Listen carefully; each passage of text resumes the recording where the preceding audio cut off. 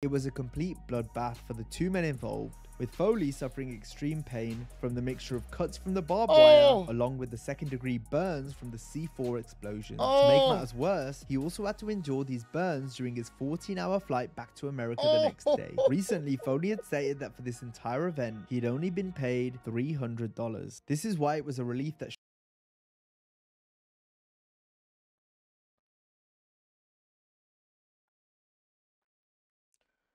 My man's got ripped to shreds over a weekend for just three hundred dollars. When I know for a fact they made way more than that. What's good, y'all? Your boy Ross back at again with another video. So we're gonna check out Mick Foley destroying his body for our entertainment, man. Now, Mick Foley is a legend. He's one of the greatest to ever uh, wrestle in this business. The guy legitimately destroyed and wrecked his body over the countless of years just to entertain us, just so people can remember who he was in the ring. The guy took so many spots, so many brutal spots and segments just to entertain us. The guy literally went through a flaming table to put over Edge. The guy literally went through thumbtacks and all this other stuff to put over Randy Orton and and and Triple H. Like the guy legitimately fell off the top of a hell in a cell and then fell through the cell itself to the ring mat below just to get the Undertaker even more over. And subsequently got himself more over, got the match over. It's iconic. So we're gonna check this out, man. Uh, I love when uh, um, Wrestling Flashback does videos like this on, you know, talking about a particular wrestler and and what they've done uh, for the business. And Mick Foley definitely deserves his flowers and his accolades and praise because the guy he's just he's a legend. It's Mick Foley, bro. So we're gonna check this out. Uh, once again, shout out to Wrestling Flashback. Y'all go subscribe to him if you haven't already. Let's get right into this video. I'm looking forward to it. One, two. Is this on?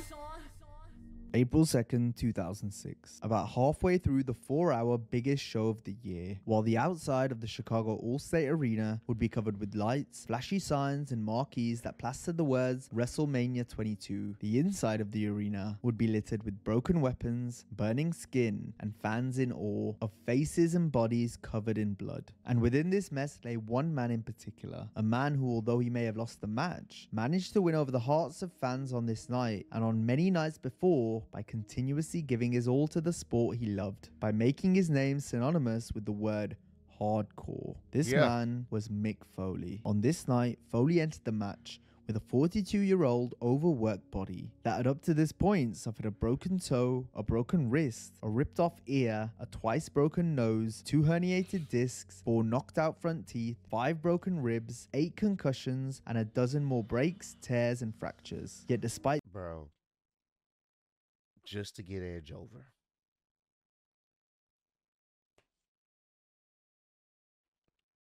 I don't I don't like I said, the guy's a legend. He's a goat. He's a goat. Just to get somebody over, he was willing to damn near destroy his body. That's just a list of some of the injuries he had over his career. It's just crazy. These physical limitations, he was determined to put on the match Look at of that. the night. And did he ever? In the sport of professional wrestling, it's not only the winners who garner the love of the fans. Viewers now understand that what it takes to make a good match is the in-ring relationship between both the winner and the loser. The loser must make to ensure that the winner looks like a complete force to be reckoned with. This is called Mhm. putting over a wrestler. And by enduring decades of pain and torture in the ring, this is something that Mick Foley has been doing since his debut, all in the name of respect for the wrestling business. Mick Foley entered the world of professional wrestling with a body type that some would say is unconventional for wrestlers of his time. He traded in the bulging biceps and the perfect abs for messy hair, a slight slouch, and a crooked smile. But even in 1980, age of 18, his physical appearance meant nothing when considered alongside his passion and determination. The same passion that had him making six-hour drives from his New York college campus to his wrestling school in Pennsylvania. This is where his skill set began to match his passion under the tutelage of Dominic DeNucci, a tenured legend with global experience who had a multitude of styles to teach his students at the time. Eventually, this determination would land him small on-screen matches for the WWF, where he would quickly be squashed by more established wrestlers. This is where his penchant for pain and injury began, when in one of mm-hmm. these squash matches, he faced the Dynamite Kid a wrestler known for going off script and throwing stiff punches at the new guys as a form of initiation instead of the typical performance punches that look much more painful than they actually are. It was one of these stiff punches that injured Foley so drastically that he wasn't able to eat solid food for several weeks. After this short stint in the WWF, he toured different independent promotions until landing in world class championship wrestling, where he went by the name Cactus Jack. Under Mhm. this moniker, Mick Foley would become notorious for dangerous feats such as being on the receiving end of stiff strikes and delivering top rope elbows onto the concrete floor. After witnessing his love of high risk danger in the form of a 12 foot elbow drop onto fellow wrestler Kevin Sullivan, Ric Flair, who was the WCW booker at the time, along with Kevin, decided to offer Mick Foley his first ever full time contract. A contract that came right at the time when he was having massive financial struggles due to traveling from promotion to promotion chasing his dreams. It was during And I want y'all to understand, bro, how dedicated and how like driven he was. Like he said, like Wrestling Flashback said, fact, he's driving to different cities, damn near probably going through his bank account because he's trying to make it. He's doing whatever he can to make it, bro. With very limited money, putting his body on the line, no guaranteed contracts at that point. Like, you gotta, ha- you gotta want it. And Mick Foley was one of those individuals. He wanted it. He wanted it that bad enough, and hopefully that inspires somebody out there that's watching this with me. Hey, if you really want it bad enough, you will do whatever it takes to get and achieve your goal. And Mick Foley is definitely one of those individuals.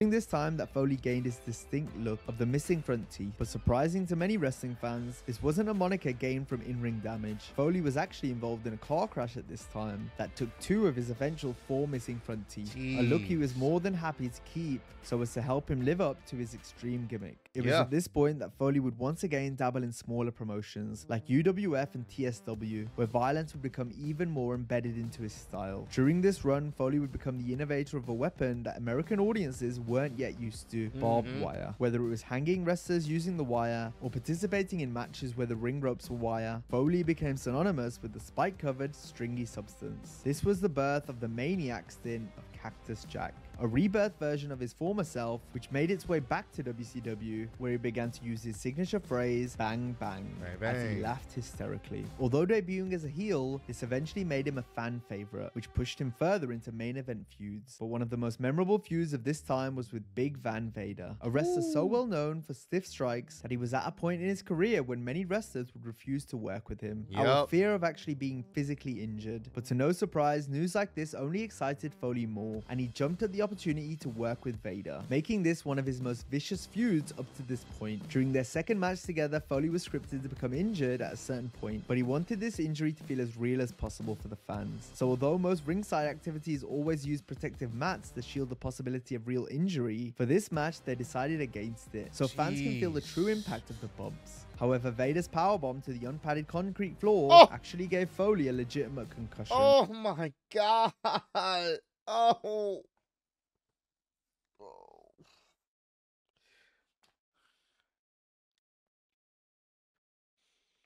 Insanity.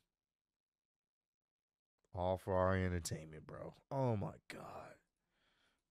And even caused him to lose feeling in his left leg momentarily. To make matters worse, months later after recovering from this injury, Foley went right back to his feud with Vader in what WCW called a Texas death match. A match so brutal that steel chairs, steel posts, and steel steps were only some of the more typical weapons used, while cameras, pre-dug graves, and even tasers were uniquely utilized as weapons until both men were beaten to a bloody pulp. Though this must have been a physically demanding experience for both men involved, it proved to make great TV. So 6 months later, although the two men were now banned from ever putting on a televised show again due to their brutality, they decided to have a house show instead. And it was one that actually ended up being their most legendary matches to date. It was here that the two men attempted to pull off a scripted stunt called the hangman, where Foley's neck would be hung in between two ropes as he dangled ringside. However, what these men didn't Mhm. know was that the ropes were actually applied extra tight that night, and Foley found it impossible to move as he was being choked out. When he finally freed himself, the Oh, friction yeah. of the rope he had to scrape through to survive left a massive split on his ear Mhm. that had left a third of it hanging off his face. In the Oh spirit of the show must go on, the two men continued trading blows until Vader eventually ripped the piece of the ear Oh. completely off. A piece that the referee would then pick up and hand to the ring announcers, becoming one of the most horrific sights in Oh professional my wrestling to this day. Shortly after this,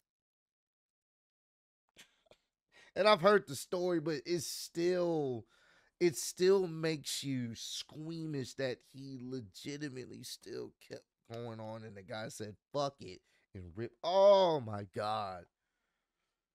Holy oh man. Foley then ran through numerous stints in SMW, IWA, and ECW, bringing his signature style of brutality everywhere he went. Many of these Mhm. matches began to involve things like bricks, body bags, thumbtacks, flaming chairs, flaming iron rods, and of course, barbed, Barbed wire. wire. An especially vicious series of matches was known as the King of the Deathmatch tournament at Kawasaki Dream in Japan, which was an all-day event that started early in the Oh! day and only got more and more brutal as it went on into the night. This show drew a crowd of 28,757 attendants, which was the largest crowd ever for an IWA Japan show. The first round of the tournament started in the daytime and was a barbed wire baseball bat and thumbtacks match, which Foley won. He then went on to win the semi-final match, which was a barbed wire board and spike nail match. And just when you thought it couldn't get any more inhumane, Nightfall came. And along with it came the tournament main event, which was a barbed wire rope exploding barbed wire boards and exploding ring time bomb death match, which proved to be as hard to watch as it was to say. Yet no one in the attendance could look away. It was a complete bloodbath for the two men involved. With Foley suffering extreme pain from the mixture of cuts from the barbed Oh! wire, along with the second degree burns from the C4 explosion. To Oh! make matters worse, he also had to endure these burns during his 14 hour flight back to America the next Oh! day. Recently, Foley had stated that for this entire event, he'd only been paid $300. This is why it was a relief that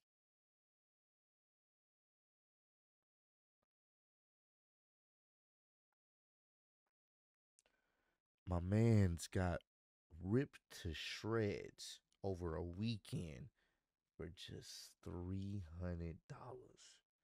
When I know for a fact they made way more than that.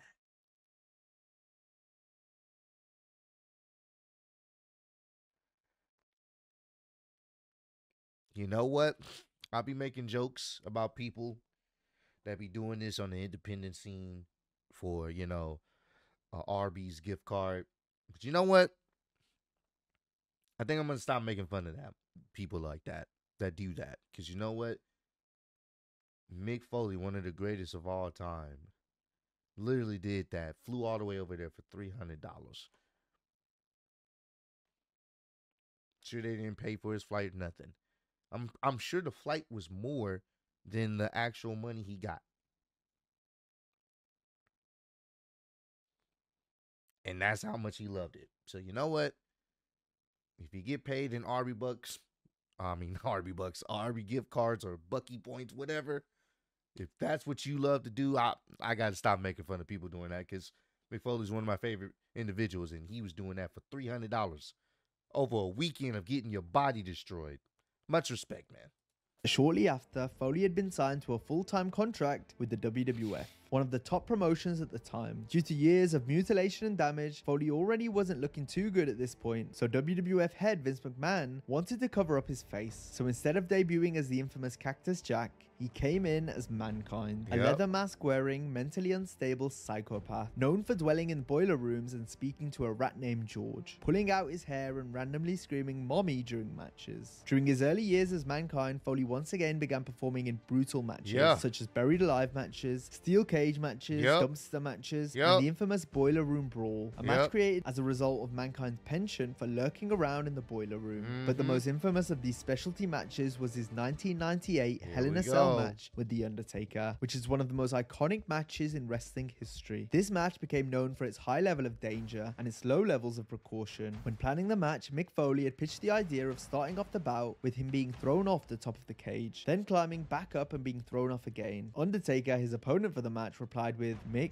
do you want to die? Foley replied, We've got a heck of a legacy to live up to, and I don't want this match to ruin it. And they definitely lived up to it Facts. by following through with Foley's absurd pitch of Undertaker throwing him 16 feet off the top of the cell, crashing through the wooden announcer's Oh table and landing on the concrete Oh floor. and just as he planned, less than five minutes later, with a dislocated shoulder, he climbed back to the top, only to later be chokeslammed through the top panel of the cell. The additional fall was actually not part of the initial plan and resulted in Foley losing both a tooth and the match. Years later, the referee for the match, Tim White, said that although he was aware of the planned spots, he still felt like he was having a heart attack throughout the whole match. A feeling I'm sure everyone could relate to, as the lasting image of this match being a bloodied Mick Foley Oh. laying on the mat as his tooth hung out of his nose. Although Oh this was a loss, gosh. a feeling that Foley was more than used to at this point, this match may still be the spark that ignited his rise to main event status. The Mankind character then became more liked and lighthearted instead of unstable and dangerous, Mhm. and eventually the fans got behind this change. This lovable gimmick was only further heightened when juxtaposed with the hated and it worked, bro. He got over. He got over because he never he he kept fighting, bro. He kept fighting. He kept coming back, no matter how many times you threw him off the cell. So this is why it's one of the greatest, if not the greatest, Hell in a Cell of all time, because it was something that no one had ever seen done before. And they've replicated replicated it, but it'll never it will never have that feeling of bro, this motherfucker really just threw him off the top of the cell. I thought he died. And then he got back up only to fall through the cell. I thought he died. And then he still got back up. It's just ridiculous, man. Just insanity. characterization of WWF owner Vince McMahon, who began working with The Rock to abuse and defile mankind, Uh-huh. although he looked up to McMahon. It was during this time that the wrestling industry was also going through a huge disruption, with the constant opposition between the industry's two leading promotions, WCW and WWF, both of which had their flagship shows on Monday nights at the same time. This was dubbed the Monday Night Wars, and up until this point, WCW had been winning for the most part. So after weeks of loss and brutalization from The Rock McMahon, on the Uh-huh. January 4th, 1999 Yep. episode, Mankind was finally scheduled to win the most prized title, the WWF Championship, a move that WCW executives got wind of due to pre-tapings. So in an attempt to maintain viewership, WCW did something that goes against all rules of professional wrestling. They spoiled the match ending. Mid-show live on WCW, the announcer Tony Schiavone revealed that Mankind would be winning, so that there was no need to even watch the WWF that night. However, this proved to be their biggest mistake. Yeah. Immediately after the match result was revealed live on WCW, Nielsen ratings indicated that over 600,000 people switched over to WWF programming. This was monumental because it not only put WWF in the ratings lead for the Monday Night Wars, but it also showed that results on their own aren't what matters to wrestling fans. Yeah. And that's where they made a mistake, bro. 600,000 said, What? Hold on, let me check. And this was one of the greatest Monday Night Raws ever, bro. That reaction that he got was fuck just goosebump inducing. If you haven't seen a clip, go watch it. It's literally one of the greatest Monday Night Raw reactions of all time, bro. What matters is the ability to witness history being made with the characters we've watched grow and be a part of these sentimental moments that show us that anyone can achieve their dreams. Yeah. From that point, WCW never surpassed WWE in the ratings, and Foley continued his must see feud with The Rock, but this time as a world heavyweight champion. And this feud would culminate in a match that would require Mick Oh. Foley to do something he has never done in the ring quit. The 1999 Royal Rumble I Quit match between Foley and The Rock had the especially savage stipulation of only being able to end once one participant said the words I quit. And based on Foley's past of enduring brutalization, everyone wasn't sure that it would be impossible to make him say those words. During the match, not only did Foley take numerous hits with tables and ring bells in the ring, outside of it, and in the stands, not only did Foley take a 12 foot fall onto the live electrical equipment that sparked and caused lights to go out as he hit it, but what truly made this match one of the era's most brutal was The Rock's use of one weapon in particular Yeah. the steel chair. The steel chair has been a mainstay in professional wrestling since the 50s, so it was no surprise to see it in any match, much less a Mick Foley Oh match. But the level of brutality that God. audiences witnessed Oh that night goes beyond any way the steel chair had been utilized up to that point. Oh. Here's some steel chair ground rules. For starters, wrestlers would often put their hands in front of their head last Yeah. minute to shield their skull from any true damage. But The Rock had Mick Foley handcuffed Oh. for a large portion of the match, so that was impossible. Secondly, the most chair shots a wrestler was allowed to take during a 10 minute match was three. Within the span of two and a half minutes, Foley had taken 11 unprotected chair shots directly to the head. This sight took an emotional toll on everyone in attendance. For the first time in Foley's risky career, the bloodthirsty fans that were regularly yelling for Oh more were now yelling to stop. And leading the screams was Foley's wife and five Bro, I ain't gonna hold you. It's still one of the hardest things to watch in wrestling because those are unprotected. You can't fake that. Those are unprotected chair shots, bro. There's nothing he can do. He can't protect himself. Not even gonna lie to you. That shit's always gonna be hard to watch because it's like, bro, he, bruh, he he can't protect himself. So he willingly is letting the rock, like, hey, bro, you gotta lay into these shots.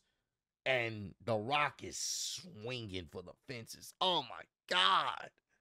Year old daughter who was sat in the front row in tears, believing that the head of their household was about to die. Yet, when given the final opportunity to say the words, I quit, Foley tiredly mumbled into the microphone, You'll have to kill me. Although the plan finished had Foley looking into the eyes of his family and saying, I quit, he fell unconscious due to constant hits to Oh. the skull, leaving the officials backstage no choice but to play a previous recording of him saying, I quit over the speakers, making Rock the winner. And although a Mm, stretcher I was brought out remember for the bloodied and concussed Mick Foley, he refused it and walked out with his head high, content with the fact that he never actually quit. A pattern that we would see in both his matches and his Mhm. career as a whole. For the next year and a half, Foley continued to be a staple in WWF programming due to his highly entertaining feuds and friendships with top wrestlers like Stone Cold, Triple H, and The Rock. But Yeah. at this point, years of wrestling began to take a toll on his body, both physically and cognitively, with him beginning to forget simple bodily motions and forgetting how to write and spell basic words. He knew it was time to retire, so his last match was scheduled for November 1999. But it was at this point the wrestling world received the devastating news that Stone Cold Steve Austin, arguably the biggest star in wrestling at the time, would have to spend months away due to the severity Uh-huh. of a neck injury that would eventually lead to his own retirement. So typical Mick Foley, the man who always put the fans first, became more concerned with fan reaction to losing two major superstars at once than he was with his own health. So he decided to continue wrestling for a few more months until Austin could begin making appearances again. When that time finally came, Foley wanted to go out on his own terms in a way the fans could remember him for decades Yep. to come. So what better Classic way to do so than with the match that made him famous in the first place? The Hell in a Cell, with the stipulation that Foley would have to retire if he lost. He put on another Mhm. fantastic bout against Triple H that included thumbtacks, Yeah. flaming 2x4s, and yet again, barbed wire. But in the end, Foley was launched through the roof Oh of the cage, much like he was years prior, falling 13 feet Oh into the mat as Triple H pinned him to finally God. retire the legend. But if there's one thing we've learned about Foley, it's that he's a man who never knows when to quit, both in matches and in life.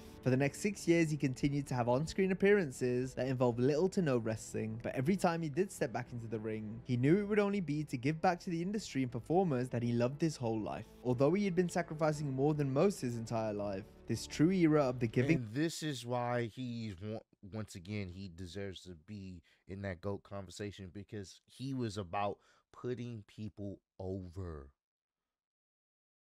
He didn't care if he lost. He wanted to make a memorable match because people always bought into Mick Foley as this guy. You literally have to bring him to the brink of death for for you to end him, and he's to put somebody over that ultimately helps them. Like, damn, you you had to, you know, you went toe to toe with Mick Foley. It's it's This is why he's one of the greatest to ever do it, bro.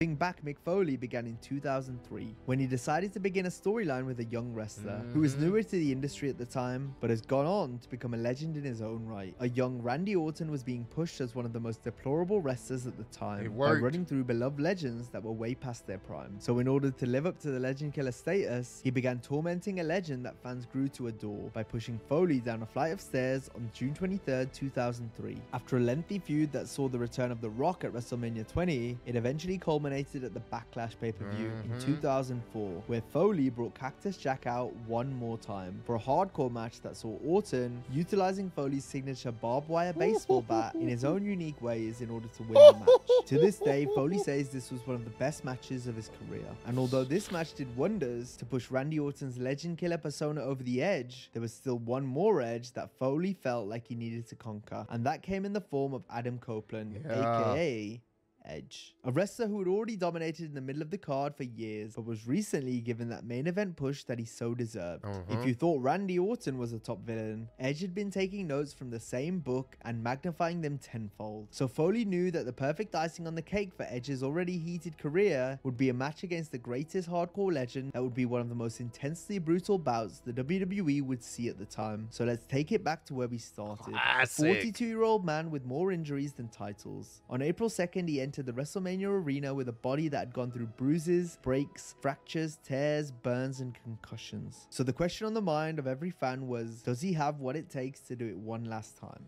Well, this was a man who was constantly winning over the hearts of fans by losing to some of the greatest, Yeah. whether it was The Rock, Triple H, or Randy Orton. Foley made a career out of making other wrestlers look like stars, and this one was no different. Although there were and that's that's that is something to be commendable. He got over by making other wrestlers look like megastars, look like dominant individuals.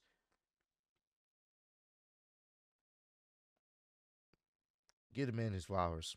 Were many intense spots that utilized chairs, tables, and a plethora of thumbtacks. There was one planned spot that would be the magnum opus of the Yep, night, the spear from the inside of the ring onto a burning table outside. In order to convince management to let them do the spot, they had to do multiple pre-match tests and even had plants in the crowd that were actually fire marshals just in case anything went awry. Mhm. WWE officials even covered the wrestlers' entire bodies with flame retardant gel, but according to Edge, due to the large amounts of sweat from both nerves and strenuous activity, the gels washed off in about two minutes. This same gel was meant to be applied to the table as well, but at both performers' request, it was not. The final spot resulted in something that would take all Oh fans out of their God, seats, as Edge and. Foley went flying into a burning table as it exploded into a dozen pieces of wooden ember. Both wrestlers suffered secondary burns as the camera did a close-up of Edge's traumatized face, which he later revealed was a completely real reaction to him smelling his own flesh being burnt. As both men lay over the rubble and chaos they had created, Edge shakily crawled over to Foley's unmoving body and laid his arm over him as the referee counted to three,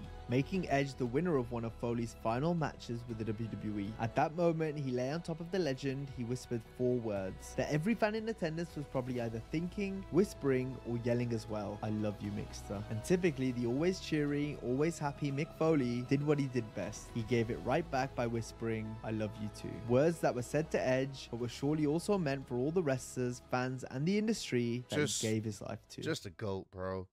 Ah man, that video is fucking fantastic. We're gonna go ahead and like this because this this is fantastic. Go check out Wrestling Flashback. He has some other great videos. Guys should definitely check out. Um, yeah, man, this was fantastic. Fantastic.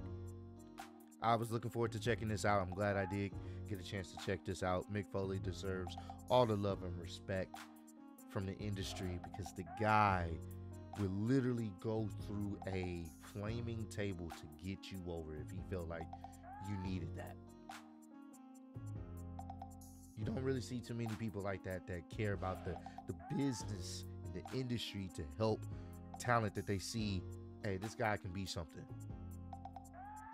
Thank you, Mick Foley. That's all I can say. Thank you, Mick Foley, for all you've done. For wrestling fans, for the wrestling business, we appreciate you. We love you. Comment down below. Let me know your favorite Mick Foley match. Let me know. Doesn't matter what company.